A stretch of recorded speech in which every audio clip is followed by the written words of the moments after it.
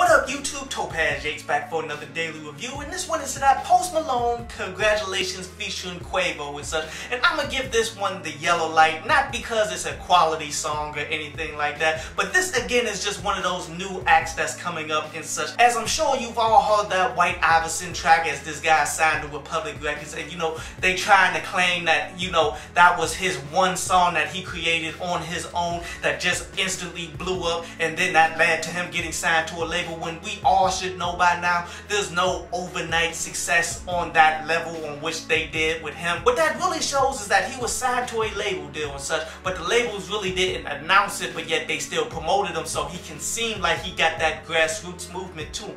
Because here's the thing about hip hop, man. If you just come out of nowhere and you're signed to a label and all of that stuff, man, then a lot of people just don't respect you. But yet if it seems like you came up out of nowhere and such, man, people will look at you like, okay, this is is the new hot guy who just got hot on the streets because he worked hard for it. In which this song, to give some background to it, he debuted it at a show that he did back in September. And this is something that I tell individual acts to never do. Whenever you do shows, people only want to hear the classics from you and such, man. So you never want to debut new songs when you do shows and such. But yet, this is one of those exceptions because he only had one song. So he might as well go ahead and do something if that's all he had. But this is a song that's going to be off of his Project that's coming out next month, I believe. But yet, overall, this is another one of those songs that will always be in hip hop and such that back then didn't want me, now I'm hot, now they all on me type joint, man. But he's ultimately saying that nobody used to know about him not that long ago, but now everybody's all congratulatory to him,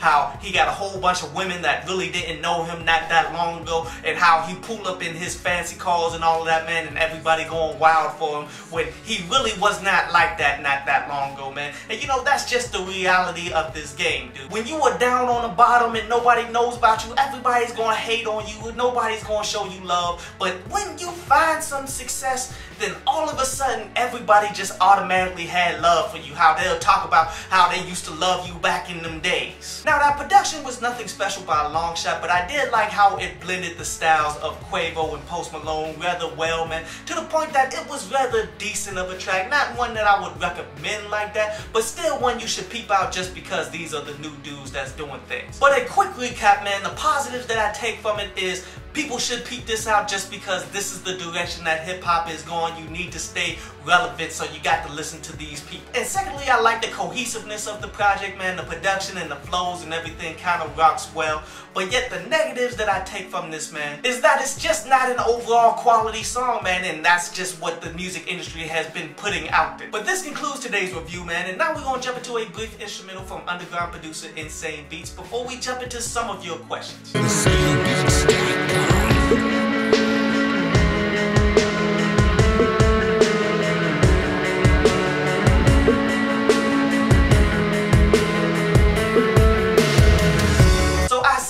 About that Big Sean No Interviews track is there's a moment in there where he's dissing Kendrick Lamar. And it's one of those slight disses that guys like Jay Electronica would do and all of that, man. Where Big Sean is ultimately talking about somebody rapping fast and how they're rapping like they having like an asthma attack or something like that. And how he's upset that people labeled him as the top five savior of rap and all that. And you know what? I didn't catch that the first time. And that honestly does make a lot of sense if that's what it is. But in the end, this is one of those things. If you're gonna call out Kid Cudi, obviously, and such, man, then you need to call out Kendrick Lamar, obviously, as well. You feel me? I'm really not gonna give him credit to that diss and such, man. That's something that we just have to obviously see if it develops into anything. And as Isaiah says in his own comment, man, that it's probably gonna be squashed before it becomes anything. But in the end, if it's going to be anything, they have to let it be known that it'll be something. You feel me?